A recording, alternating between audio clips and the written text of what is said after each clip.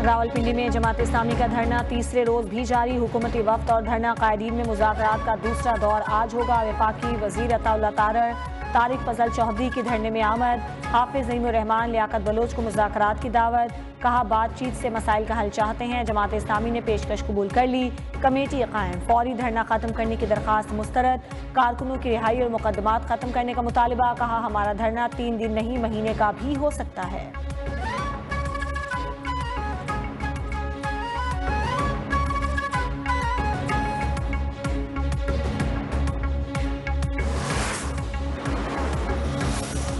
यकुम अगस्त से पेट्रोल फ़ी लीटर तीन रुपए सस्ता होने का इम्कान। डीजल की कीमत में आठ रुपए पचास पैसे फ़ी लीटर तक कमी मुतव पेट्रोलियम मसनूआत की कीमतों से मुतालिक हतमी, समरी, ओगरा हुकूमत को भिजवाएगी। वज़ीर खजाना वज़ीर आज़म की हिदायत पर इकतीस जुलाई को नई कीमतों का ऐलान करेंगे।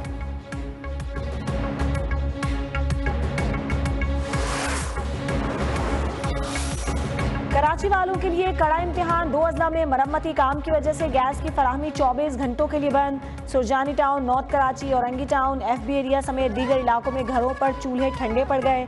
Gulberg, buffer zone, side, Baldia town, Gulshan Maymar, Ahsanabad, side super highway और अतराफ के इलाकों में भी गैस की फराहमी मअतल शहरी परेशान। कहते हैं महँगाई के इस दौर में होटल से नाश्ता और खाना खरीदना मुमकिन नहीं।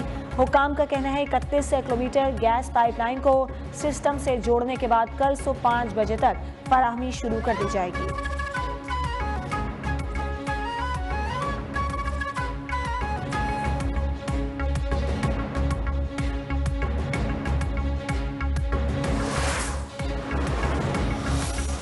कहीं बारिश, कहीं काली घटाओं का राज। रावलपिंडी, इस्लामाबाद समेत मुल्क भर में बरसा। जहलम, सियालकोट गोजर खान में बादल जमकर बरसे।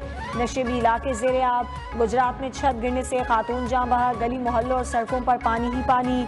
फीडर स्ट्रिप होने से कई इलाकों में बिजली बंद। खैबर पख्तूनख्वा, आज़ाद कश्मीर में बारिश से नदी नालों में तुगयानी लैंड स्लाइडिंग से सड़कें ब्लॉक। कोहाला रोड, दोलाई के मकाम पर दूसरे रोज भी बंद। कराची के मुख्तलिफ़ इलाकों में सुबह सवेरे रिमझिम मौसम खुशगवार। सिंध में सांगड़ मीरपुर, खास, बदीन और उमरकोट समेत साहिली इलाकों में बारिश मुतव